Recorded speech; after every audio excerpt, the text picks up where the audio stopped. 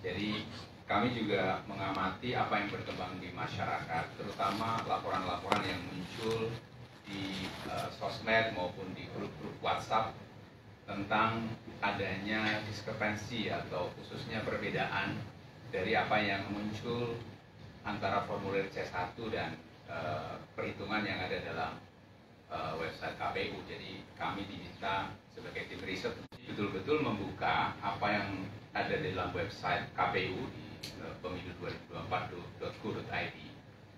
Lalu kemudian mencoba uh, memeriksa dalam beberapa jam terakhir, gitu ya, membandingkan uh, apakah ada ada sesuatu kelemahan di dalam apa namanya uploading ya kira-kira gitu.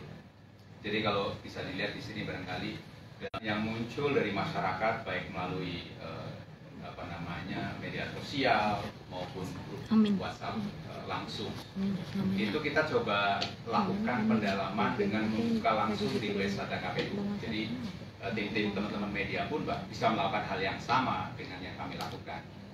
Maka dalam beberapa jam terakhir uh, ada sekitar? 335 laporan dari berbagai TPS yang coba kita lihat di website KPU. Ternyata dari 335 yang kita buka itu terdapat memang perbedaan antara angka yang ada di dalam tabulasi dengan dokumen pendukung berupa eh, apa namanya formulir C1 yang diupload di website tersebut.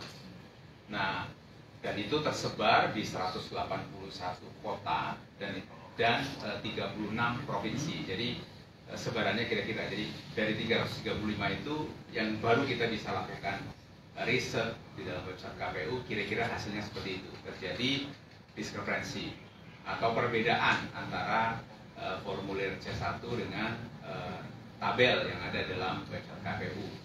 Dan kalau kita lihat di sebelah kanan itu eh, tersebar dengan sebaran yang beda-beda. Jadi kalau bisa dikatakan penggelembungan suara itu terjadi baik terhadap 01, 02 maupun 03.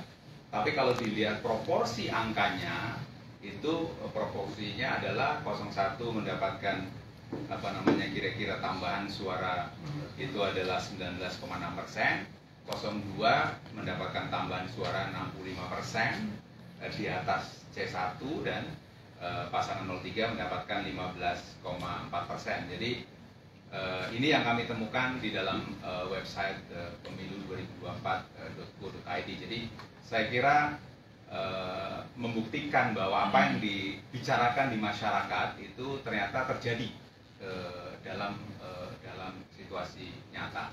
Nah, kemudian bisa tunjukin barangkali eh, oleh tim eh, kira-kira eh, seperti apa sih? Nah, ini eh, ini bisa dilakukan oleh semua orang. Eh, pada semua tim baik dari 01, 02, 03 bisa membuka sendiri. Begitu membuka sendiri, telusur sendiri silakan lakukan sendiri kira-kira seperti itu. Dari sana akan kelihatan oke misalnya ini contoh ya, ini